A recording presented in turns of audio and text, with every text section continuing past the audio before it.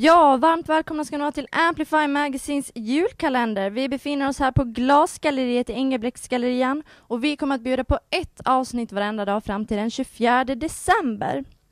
Och förutom pepparkakor, lussebullar och glögg kommer vi att bjuda på intressanta gäster kopplade till Ulrikas musikliv och därmed en del liveframträdanden. Så se till att göra det till en vana att surfa in på vår Facebook-sida eller Youtube-kanal. Jag som leder programmet heter Klara Fritzson och med mig som producenter har vi Gabriella Selander och Garten Lundegård. Nu kör vi! Ja, idag är den 7 december och vi öppnar lucka 7 med att tända lite ljus så här i vintermörkret.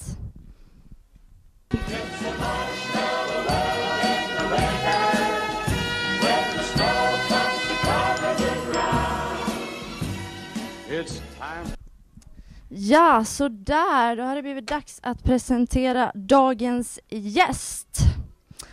Han var med när det begav sig, när kyrkorna brändes ner och satanismen invaderade varenda vilsen tonårssjäl. Som vokalist i Hypocrisy och black metal-pionjärerna Dark Funeral gjorde Imperial Magis Caligula sig ett namn. Jag säger välkommen in Magnus Masse Broberg. Välkommen, välkommen. Slå dig ner. Du ska få en mikrofon här också. Sådär. Eh, och lite glögg, pepparkakor och eh, julskum. tack, tack. Ja, då kör vi igång. Kul att ha dig här, Magnus. Eh, det är säkert många här i trakten som kanske inte vet alls vem du, är, vem du är eller varför vi har bjudit in dig, men du har ju spelat en del framgångsrika metalband, alla längst i Dark Funeral som vokalist. Ja. Hur eh, ser du tillbaka på den tiden? Jag kan tänka mig att du har fått lite distans ändå. ja, jag har fått väldigt distans från det där men eh, Lite närmare micken bara sådär. ja, det är väl det var väl en rolig tid när det begav sig. Men eh, det är absolut ingenting jag saknar idag. Så är det. Mm. Eh, men du har ju inte bara rört dig inom black metal utan även lite olika former av death och trash. Eh, men jag skulle ändå säga att black metal urskiljer sig på ett annat vis från de andra undergenrerna i och med kulturen, satanismen, eh, corpse paint-sminket. Alltså att black metal-entusiaster känns mer traditionsbundna. Håller du med om det? Ja, det, det kan jag väl hålla med om och det är väl så eh, jag fortfarande anser att black metal eh, ska vara. Eh, sen är ju det en av anledningarna till att jag eh, slutade i Dark Funeral för jag kände att jag inte kunde eh, eller inte ork. Jag hade ingen lust längre att hålla på med och eh, jävlas om man säger. Men vad tror du det beror på att just black metal är så här mer, det har varit som det alltid har varit. Det är inte så mycket nya grejer liksom som sker inom musiken eller inom kulturen. Det är väldigt, väldigt svårt att svara på.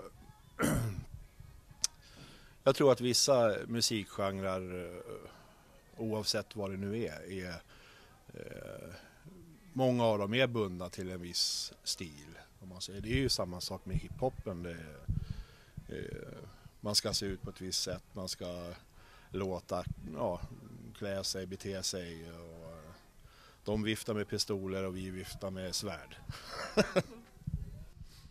Eh, men känner du att genren har åldrats med värdighet? Ja, det finns ju faktiskt eh, eh, ganska bra band idag som fortfarande jag tycker är kul som håller det här gamla vid liv.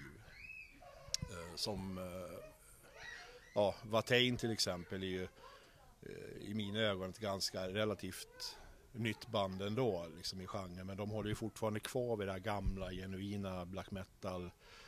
Det, är en, det ska ju vara en show att gå och se ett black metal band. Liksom. Det ska ju inte bara vara att höra musiken utan man ska ju få en upplevelse. Liksom. Du ty- du, och du tycker inte att nya black metal-fantaster som liksom är unga och kommer med nya band, att de, att de liksom urholkar det som tidigare byggts upp, att de missförstår?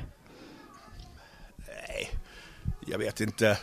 Om du hade frågat mig för 15 år sedan kanske, då hade jag blivit förbannad och gått i taket och sagt att det är fan inte eh, riktigt eller värdigt. Men idag ser jag ju bara, jag menar det är ju en, det är en evolution av black metalen som, som vi ser idag. Då, liksom. Och jag menar, jag förstår folk som kanske inte eh, vill beblanda religion med musiken eller eh, hålla på med det här kladdiga corpse painten varje dag.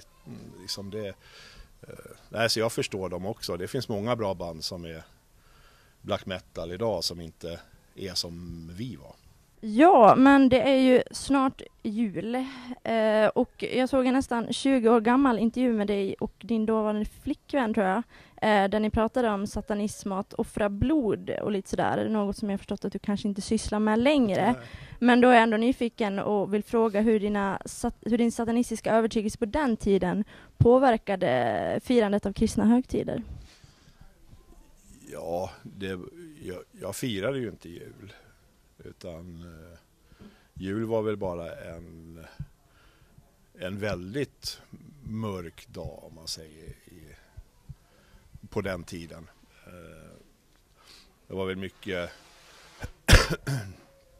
ja, depression och, och ångest och sånt där. Nej, jag gillade inte jul överhuvudtaget förrän det, det är faktiskt nu på senare år som jag eh, verkligen tycker om julen. Mm, men då tror jag att vi snart ska runda av där. Eh, har du något som du vill hälsa våra tittare så här i juletid? Då?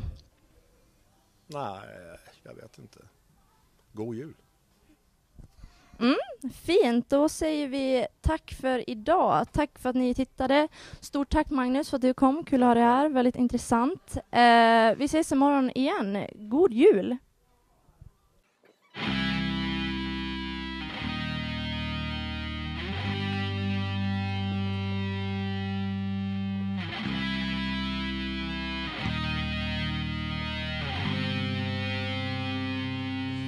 Please, Navidad!